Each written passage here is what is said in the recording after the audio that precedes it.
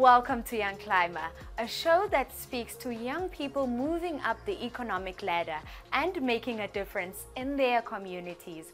Today we speak to Siposetu Claudia Ginindza, who has proven that education can swing you into one direction, but dedication and passion will always come out top.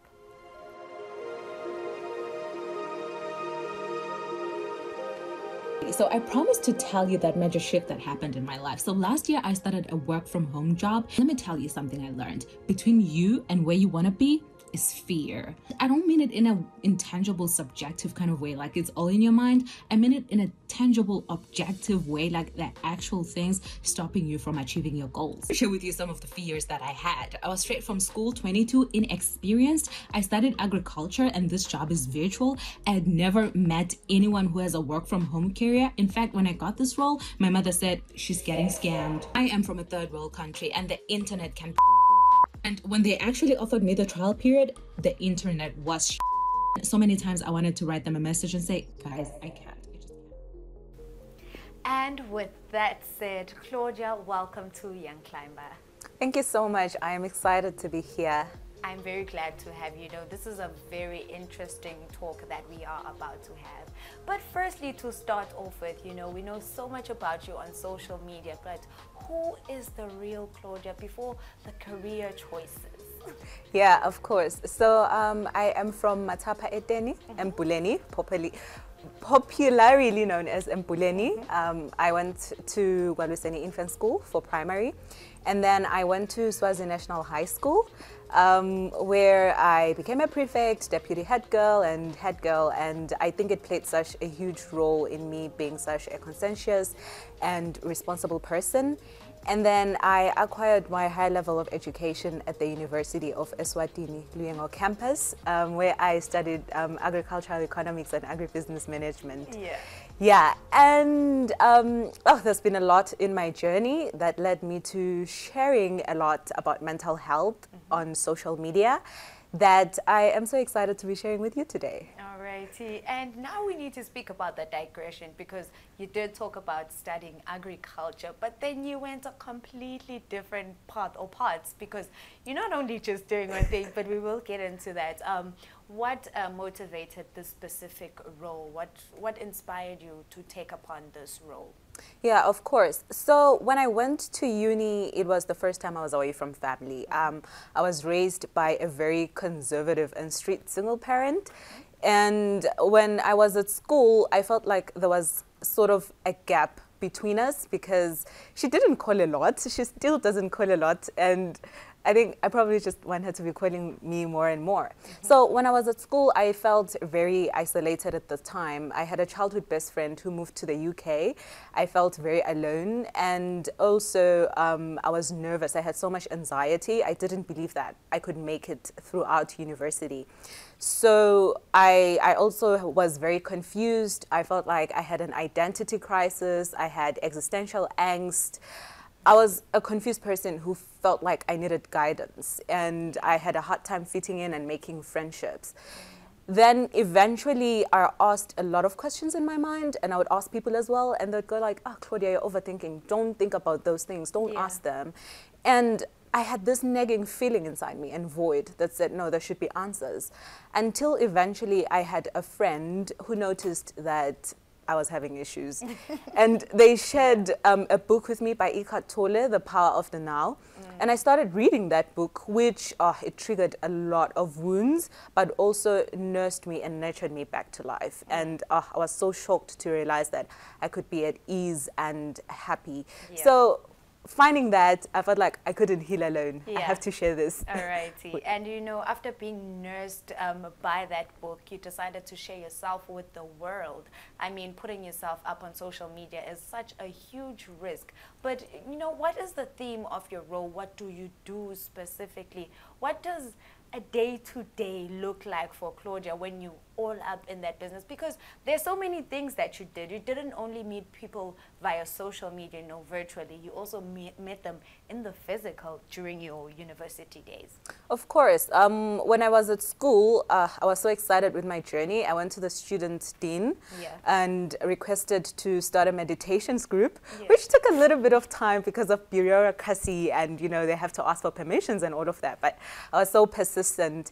And eventually they gave me a room room to start a, a small group mm -hmm. and coach people with meditations. And it was such a success to the point that um, I was coaching them even individually, just helping them. So they would come to me for sessions and sort of seek guidance. And oh, this was so transformative for me because then they would come back with feedback. They still come back with feedback, like mm -hmm. Claudia you changed my life. I feel like I'm in a better position. You know, I was interning right now and my boss told me this and this and I know it's because I was applying your advice. And, um, but in the background, that takes a lot of work from my end because I have to keep on reading as well. I have mm. to keep on pouring into myself yes. to be able to, to pour, pour, into, into others. others I have to do lots of research. I took um, a cognitive behavioral therapy course online. Because you know if, if you if you're gonna help other people you have to be like a source of authority as yeah. well and you don't want to mislead them at the same time. So there was all of that involved in the background. And then i also had some people approaching me on social media um, to the point where i eventually had paid clients. Okay. Yeah, yeah. and yeah it, it was all of that. So on a day-to-day basis, it includes me listening to podcasts. It includes me taking care of my physical health. Mm -hmm. It includes me reading books. It includes me also asking the right questions when I'm interacting with people, mm -hmm. you know, so that I'm also informed as well when helping others.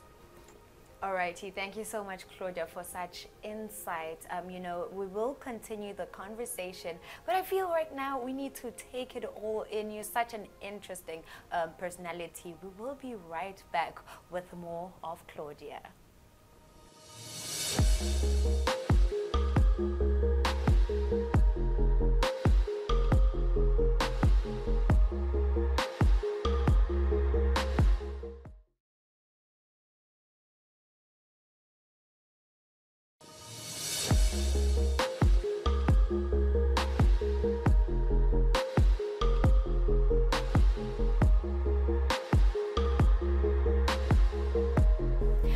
Welcome back. We are still with the ever so beautiful and of course intellectually gifted Claudia Ginindza. We are discussing, you know, her mental health journey and how she is continuously pouring into other cups. You know, as we move on, Claudia, I just want to get um, your perspective of, you know, this career, being on social media, risking your life basically because you know people have opinions. What are some of the things that have encouraged you on social media and of course have discouraged you? Because you know you, you can't have it all as a person. Um, what have been the pros and cons of putting yourself out there yeah, um, thank you so much, Tabelo. And I'm so glad you get the gist of things when it comes to this. Yeah. And first of all, it is such a huge risk because, you know, you're putting yourself out there to be vulnerable. Mm -hmm. And it is something that is not very attractive yeah. to, to, you know, to just air your weaknesses like that. Um, I, I, was very skeptical about sharing my journey because uh, I was in the pits. I was at my lowest. And um, sometimes I just felt like I'm even risking embarrassing my friends, you know, because everybody's going to say, oh, she's friends to that. And she she's depressed. Oh my gosh, she's just a somber mood kind of person. yeah. um, but I kept on doing it because I just felt the urge that it needs to be done. I was certain deep inside myself that I can't be the only person going through this. Yeah, and certainly I just wanted to lead by example that it's okay, it happens, Yeah. and there's a way to get better. You know, and I'm so glad I did it. I, I do not regret it, and I feel like I've kind of created a community around myself that understands it and is very supportive and encouraging and I've learned a lot myself. And yeah, doubts still come back from time to time because uh, sometimes you're like, mm, am I really equipped to do this? Am I really equipped to help others? Sometimes I just think to myself that um, maybe someone else looking at me from a distance feels like, who are you to talk about this? Because you know, you have a parent, you've, you've went to school, you're from basically like from town. What about the kid in Lavumisa? What about the orphan? You know, what are you going to tell them about mental health? And the truth is, people like that will always exist, but it doesn't mean that we shouldn't pursue what we think needs to be done. So I'm doing it regardless because I feel like I am touching souls somewhere, and I know this because I do get the feedback as well. Mm-hmm. And of course, you know, we need to talk about you. Going back a little, you know, you did talk about you have an agricultural educational background and you have the social media real talk with Claudia, but you also do have another job. How do you juggle all of this into one? You know, it, it, it mostly says you have three different careers actually um, when I look into it basically. Um, can you tell me why you have chosen to make this one your main one? But the other one is also your main one. But Yeah. um, can we speak about your other careers too? You're climbing so many ladders. Oh yes, oh yes. So um, I work as a relationship manager, right? Um, I help Western entrepreneurs source Filipino VAs. So basically, they help them with clerical tasks, or sometimes the roles are even specialized. And it's all virtually. I work virtually. The Filipino v- VAs work virtually, and most most of my entrepreneurs um, are nomads, which means they travel the world, but at the same time running their businesses. Yeah. And I love my job so much. And my boss carefully placed me in that role because of my people skills. Yes. So I did the wealth dynamics test and I came out as a star. So stars are basically like people like you and I. it's the film Yeah. people, it's Oh. it's the CEOs, it's the sports people, it's the CEOs. Um, and uh, the interesting thing is that Oprah is speculated she speculated to be a star as well. And i was so excited because So she's like my role model. Oprah, Same level. same level. Yeah. so i was so perfect for this because i rely on my people skills on on building relationships with people. And yeah so um, yeah so basically i assist these entrepreneurs from sourcing the va um, up until the onboarding process and supporting them even beyond that Yeah. and if there's an opportunity also upsell i love my job because i get to interact with diverse people and i just love talking to people and asking questions Yeah. and yeah and then on the side it's the social media where i'm creating videos i'm in front of the So camera one is a side. yeah. because my main this is my main job that brings in the money Yes. and then there's this which i'm passionate about Yes. Um, I'm just driven both the creating the content and coaching people. It's things I'm passionate about. But Yeah. I'm just passionate about everything I'm doing because I think this is where understanding yourself, your strengths come into play. Yeah.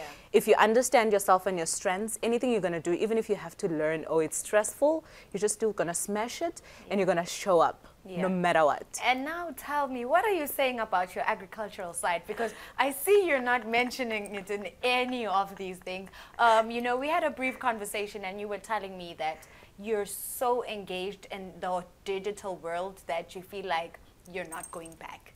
Agriculture is more practical. So, what are you hoping for the future of your job? Um, are you even hoping to teach Emaswati? Like, you know, you found something in yourself and then you put it out in the world. Are you hoping that once you learn so much about the job that you're doing, to engage other young um, people in Eswatini?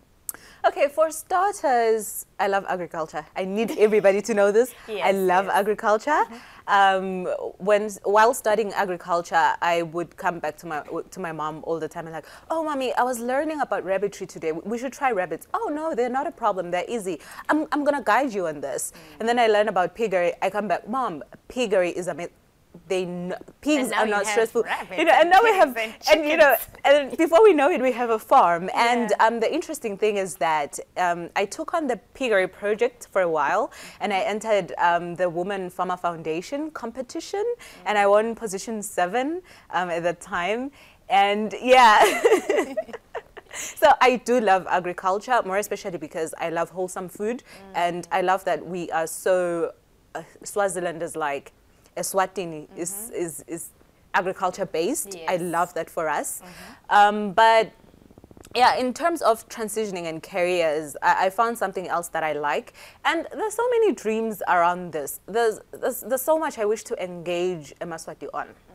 It's so unfortunate that time and money are just limited resources because I, I do want to start a meditation center because I feel like it's mm-hmm. essential when we when we come to the mental health Yes, part, yes. poverty rates, unemployment do you rates. feel like we have adapted to the nature of meditation? Oh, I feel like we're a, a bit behind when it comes to that. Yes. I, I say that look, people give me when with the person that I am, Yeah. meditations and But then, how are you hoping to make a difference when it comes to this? You know, first you have to teach people about something before they can really get into it. So, how are you hoping to change all of that? Yeah, I think posting posting on social media is the first step that I've taken. Um, I did try it when I was in uni with the meditations group. It it got a good response because I think it's younger people Yes. and they are more centralized and they're like, mm, I can try it out. It's free. It's close by. But I think um, social media. It's, it's one of the reasons why I started sharing my journey on social media because I want to bring the awareness to the people.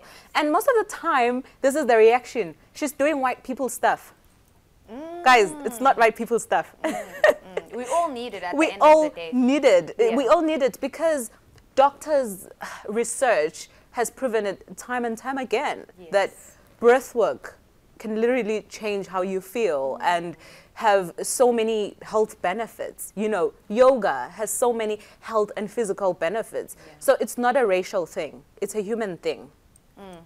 Hope I make sense. Yeah, and you know, uh, are there any things that you have found in the career maybe differed from the norm, like what we are used to? I think if someone is going through a, a depressing phase uh, for for us, technically your first option maybe would be a therapist. And from some of the experiences that you had, do you feel like um, there are like clear differences that it's, it's a bit far from reality, but it can also assist in a professional way. Yeah. So um, my take when it comes to this, I've actually seen a lot of videos of late on TikTok talking about if you were spanked as a kid or if you were crying and you were told not to cry, you need therapy. And sometimes I'm, I'm a little bit skeptical when it comes to those things. Because Yeah. it's, it's basically like everything nowadays is like you need therapy. Yeah, yeah. With, for We are myself. fragile. So We are fragile. We- yeah, and, and that's a fact. We, we mm. are becoming such a fragile generation. Um, there's a book, Cradling Minds of the Coddling of the American Minds, actually talks about this. Mm. That we are protecting people so much nowadays, they'll become so weak, mm. and all of life is is hard, is difficult. It, it needs resilient people. It needs you to be anti-fragile. So I do not necessarily think everything needs therapy. I mean, when you look at the fact that the term post-traumatic disorder, post-traumatic disorder, PTSD, Yes. came after World War II because of the veterans that came from war and they had literal trauma and that Yes. they couldn't fit in with other individuals when they came back from war. Those But we're people needed therapy. So, yeah. yeah, and uh, they needed therapy. So that is how extreme it was. Yeah. And now somebody nowadays just I don't know. They, they just go through something and then they're like, oh, so traumatized. Now that's a misuse of the word. Yes. You can definitely get sad. They can you, you can definitely have lows, but not necessarily everything needs therapy. Mm. Sometimes you just need a community of supportive people, of loving people. Yeah. You just need a friend to listen to you. You just need maybe a mentor, a coach, things like that. Not necessarily therapy. Still delving into interesting talks with Claudia. When we come back, it's more of her and, of course, more inspiration.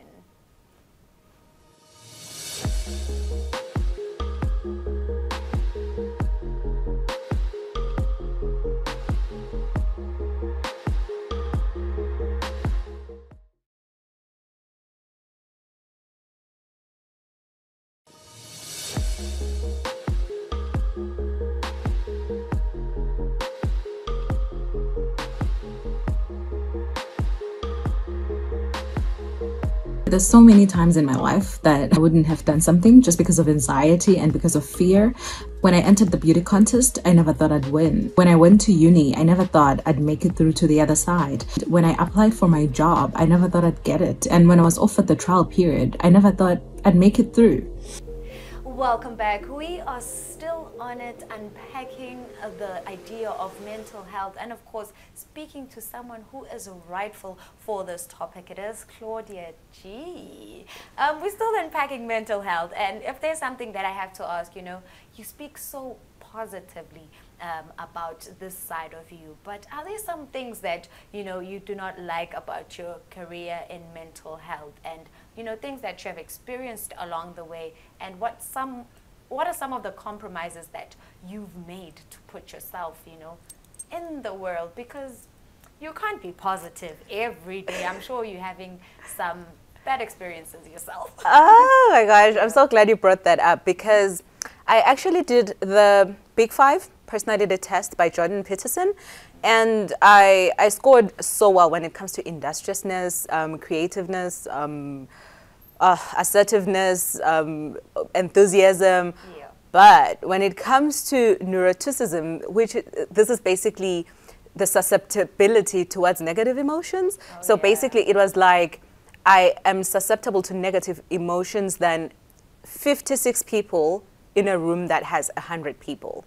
So I really have to be careful um, when it comes to this because I can easily get sad and depressed. Mm. And um, being aware of this has helped me so much because when I notice those negative emotions creeping in, I just know that I have to keep my mind occupied with productive things and positive things. So it's basically how to deal with bipolar. but you know, yeah, yeah you have sense. to understand, in a sense, exactly. yeah. And uh, things that I uh, don't excite me so much when it comes to this, the journey that I took, when it comes to sharing my journey as well, mm-hmm. is the fact that I feel like I sort of have to share my personal journey at the same oh, time, yeah. which means I have to be a little less private. Mm. But I feel like it's essential because I'm, I'm not like a psychologist. So, in order for me to speak from a place of authority, I have to actually prove to people how I am making it work, yeah. how I'm actually a recovering person, and you know, sharing my journey basically. So you put that out there. Yeah. And then another thing that I feel like I had to compromise a little on is that I'm 23 mm. and I feel like there's so many things that I have to stop myself from doing because uh, it's, I, I, I limit myself in terms of acting my age because yes. now I'm becoming a role model sort of to other people. So I have to keep up with this image, which I appreciate at the same time because it gives me limits. I, I love it. I love it. But at the same time, I'm like, hmm. I'd probably be who I really am. Yeah. so I have to find the sweet yeah. spot, the sweet balance, and. I'm trying that by the way because mm -hmm. I also do not want to take away the fact that young people can focus on important things and mental health yes. and still be your age. Yes. You, so I'm, I'm trying to find that so balance. So if they find you in the club, it's fine. And you're doing wild things, it's okay. Exactly. And then the next morning you motivate. Um, next morning I motivate. Yes. So yeah, you should be able to understand. The worst thing is falling on the far end extremes of the spectrum. Yeah. You don't want to be too serious, too on it, mm. too focused. You yeah. don't want to have too much fun, like be hedonistic. You just want to find the sweet balance. Yeah.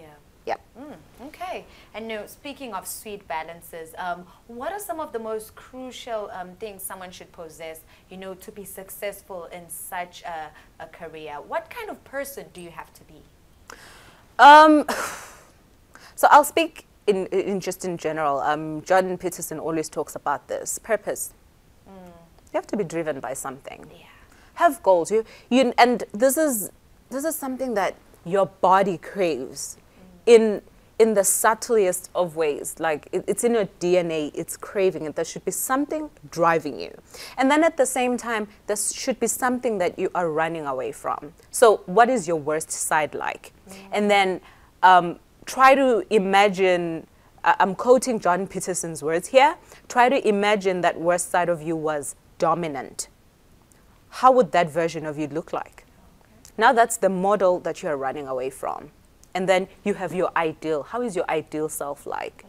In terms of your career, how does it look like? How do you spend your time? The people you spend time with?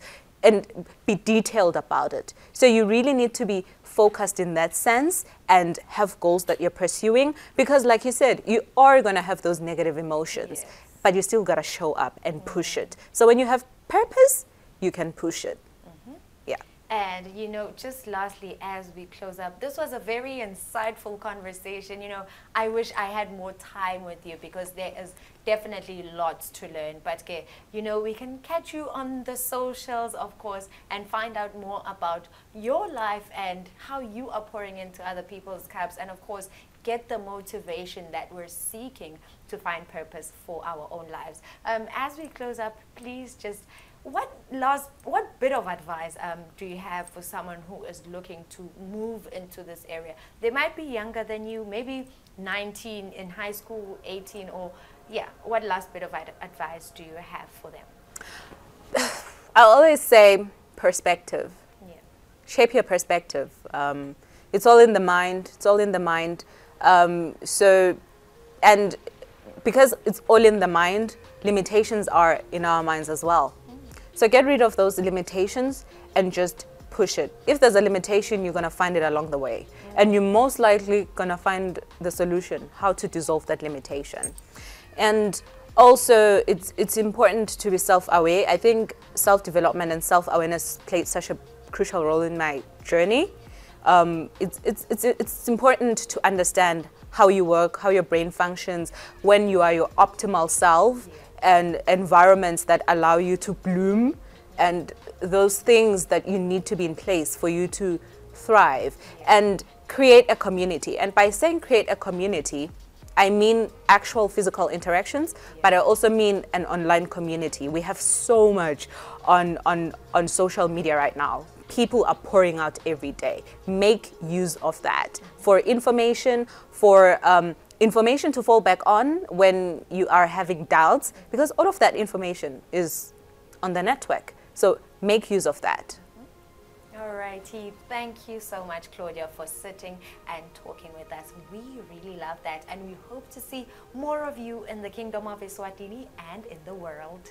Thank you so much. I had such an amazing time, and I hope this is going to help one or two people out there.